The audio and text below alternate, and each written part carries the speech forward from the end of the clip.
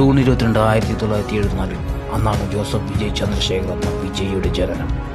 ആരാധകരും മാധ്യമങ്ങളും ഇളയദളപതി എന്ന് വിശേഷിപ്പിക്കുന്ന വിജയ് തമിഴ് സിനിമയിൽ ഏറ്റവും പ്രതിഫലം വാങ്ങുന്ന നടനാണ്. രണ്ടായിരത്തി പതിനേഴോടെ തമിഴ് സിനിമയിൽ രജനീകാന്തിന് ശേഷം ഏറ്റവും കൂടുതൽ കളക്ഷൻ നേടിയ ചിത്രം വിജയുടേതായിരുന്നു. നായകനായി അറുപത്തിനാല് ചിത്രങ്ങളിൽ അഭിനയിച്ച വിജയ് ഒരു യുണൈറ്റഡ് കിങ്ഡം അവാർഡ് എട്ട് വിജയ് ടി വി അവാർഡ് മൂന്ന് തമിഴ് സംസ്ഥാന അവാർഡുകൾ എന്നിവ കരസ്ഥമാക്കിയിട്ടുണ്ട്. ഇന്ത്യൻ സെലിബ്രിറ്റികളുടെ വരുമാനത്തെ അടിസ്ഥാനമാക്കി ഫോബ്സ് ഇന്ത്യ സെലിബ്രിറ്റി നൂറ് പേരുടെ പട്ടികയിൽ ഇന്ത്യയിൽ നിന്നും വിജയ് ഏഴ് തവണ സ്ഥാനം പിടിച്ചിട്ടുണ്ട്. പത്ത് വയസ്സുള്ളപ്പോൾ വിജയ് ആദ്യമായി അഭിനയിച്ചത് ആയിരത്തി തൊള്ളായിരത്തി എൺപത്തിനാലിൽ വിജയുടെ പിതാവ് ചന്ദ്രശേഖർ സംവിധാനം ചെയ്ത വെട്രി എന്ന ചിത്രത്തിലാണ്. പിന്നീട് കുടുംബം വസന്തരാഗം സട്ടുംപിളയാൽ ഇത് എങ്കിൽ നീതി തുടങ്ങിയ ചിത്രങ്ങളിലും ആയിരത്തി തൊള്ളായിരത്തി എൺപത്തഞ്ചിൽ രജനീകാന്ത് നായകനായി അഭിനയിച്ച നാൻസികപ്പ് മനിതൻ എന്ന ചിത്രത്തിലും വിജയ് അഭിനയിച്ചു.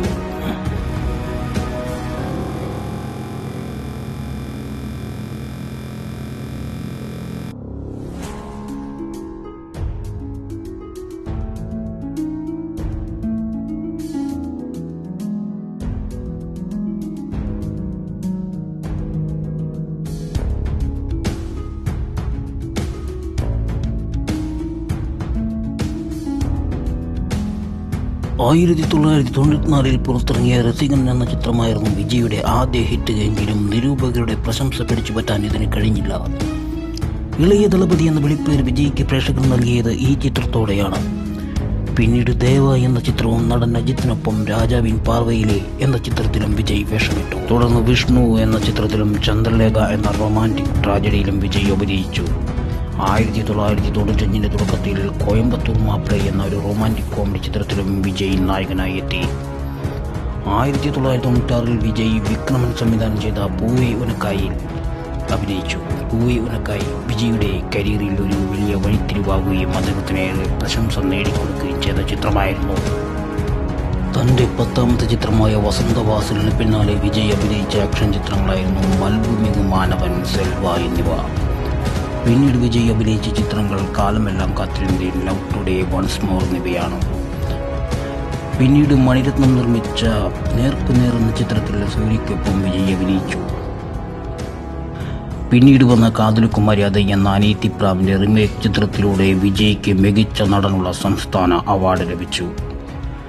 ആയിരത്തി തൊള്ളായിരത്തി തൊണ്ണൂറ്റൊമ്പതിൽ പുറത്തിറങ്ങിയ വിജയ് നായകനായി എത്തിയ തുള്ളാത മനവും തുള്ളും എന്ന ചിത്രം ബോക്സ് ഓഫീസിൽ വലിയ ഹിറ്റായി ഇരുന്നൂറ് ദിവസത്തിലേറെ ഓടുകയും മികച്ച ചിത്രത്തിനുള്ള സംസ്ഥാന അവാർഡ് കരസ്ഥമാക്കുകയും ചെയ്തു. രണ്ടായിരത്തിൽ ഫാസിൽ സംവിധാനം ചെയ്ത കണ്ണുക്കുൾ നിലാവുവിലും എസ് ജെ സൂര്യയുടെ ഖുഷിയിലും പ്രിയമാനവളെ എന്നീ ചിത്രങ്ങളിലും പിന്നീട് വിജയ് നായകനായി. രണ്ടായിരത്തി ഒന്നിൽ മലയാള ചിത്രം ഫ്രണ്ട്സിന്റെ റീമേക്കിൽ വിജയും സൂര്യയും പ്രധാന കഥാപാത്രങ്ങളായി. പിന്നീട് അദ്ദേഹം തെലുങ്ക് ചിത്രമായ ചിരു നൗട്ടോയുടെ റിമേക്കായ ഭഗവതി എന്ന ചിത്രത്തിലും അഭിനയിച്ചു.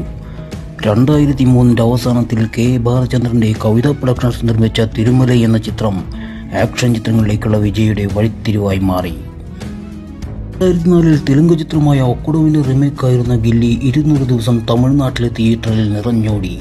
അമ്പത് കോടി രൂപ നേടിയ എക്കാലത്തെയും വലിയ ഹിറ്റായ ആദ്യ തമിഴ് ചിത്രമായിരുന്നു ഗില്ലി. ആയിരത്തി തൊള്ളായിരത്തി തൊണ്ണൂറ്റൊമ്പതിൽ പുറത്തിറങ്ങിയ മുപ്പത് കോടി രൂപ നേടിയ രജനീകാന്തിന്റെ പടയപ്പയുടെ റെക്കോർഡിനെ മറികടന്നു ഗില്ലി.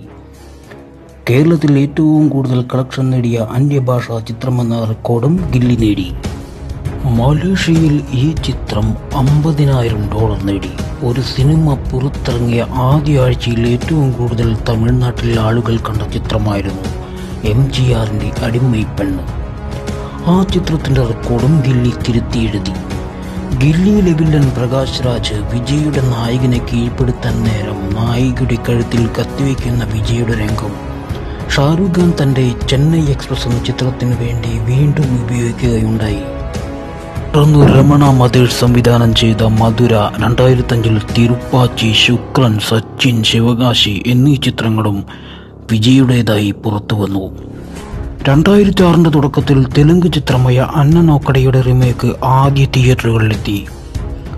രണ്ടായിരത്തി ഏഴിൽ വീണ്ടും ഒരു തെലുങ്ക് ചിത്രത്തിന്റെ റിമേക്കായ പോക്കിരി എന്ന ഗ്യാങ്സ്റ്റർ ചിത്രവും പുറത്തിറങ്ങി. തമിഴ്നാട്ടിൽ ഏറ്റവും കൂടുതൽ കളക്ഷൻ നേടിയ മൂന്നാമത്തെ ചിത്രമായിരുന്നു പോക്കിരി. രണ്ടായിരത്തി ഒമ്പതിൽ വിജയുടെ പുറത്തു വന്ന ചിത്രം ഭരതൻ സംവിധാനം ചെയ്ത അഴകിയ തമിഴ് മകനായിരുന്നു. വിജയ് ആദ്യമായി ഇരട്ടവേഴത്തിലെത്തിയ ഈ ചിത്രം വലിയ വിജയമായില്ല. രണ്ടായിരത്തി എട്ടിൽ ധരണിയുടെ സംവിധാനത്തിൽ എത്തിയ കുരുവിയും തിയേറ്ററുകളിലെത്തി. രണ്ടായിരത്തി ഒമ്പതിൽ പോക്കിരിക്ക് ശേഷം വിജയ് വീണ്ടും പ്രഭുദേവയുമായി ചേർന്ന വില്ല് എന്ന ചിത്രത്തിൽ വീണ്ടും ഇരട്ടവേഷത്തിൽ അഭിനയിച്ചു. പിന്നീട് ബാബു ശിവൻ സംവിധാനം ചെയ്ത് രണ്ടായിരത്തി ഒമ്പതിൽ ഏറ്റവും കൂടുതൽ കളക്ഷൻ നേടിയ വേട്ടൈക്കാരൻ എന്ന ചിത്രം വിജയുടെ ഏറ്റവും വലിയ ഹിറ്റുകളിൽ ഒന്നായി മാറി.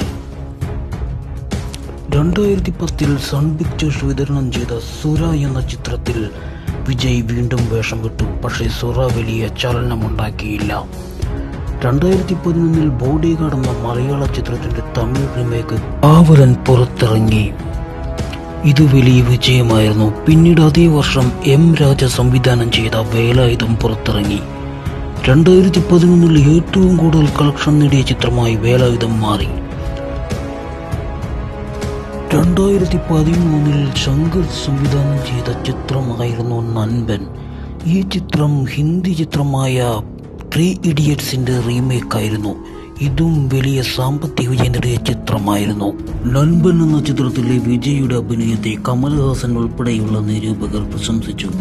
രണ്ടായിരത്തി പതിനൊന്നിൽ മുരുകദോസ് സംവിധാനം ചെയ്ത് പുറത്തു വന്ന തുപ്പാക്കി എന്ന ചിത്രം യന്ത്രൻ ശിവാജി എന്നീ ചിത്രങ്ങൾക്ക് ശേഷം ഒരു ബില്യൺ ഡോളർ ക്ലബിലേക്ക് പ്രവേശിക്കുന്ന മൂന്നാമത്തെ തമിഴ് ചിത്രമായി മാറി.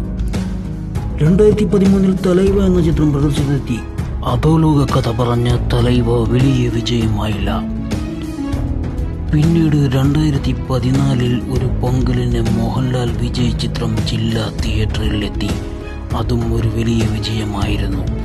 രണ്ടായിരത്തി പതിനാലിൽ മുരുകദോസിനൊപ്പം കത്തി എന്ന ചിത്രത്തിൽ വിജയ് വീണ്ടും ഒത്തുചേർന്നു. ഇത് അദ്ദേഹത്തിന്റെ മൂന്നാമത്തെ ഇരട്ടവേഷ ചിത്രമായിരുന്നു.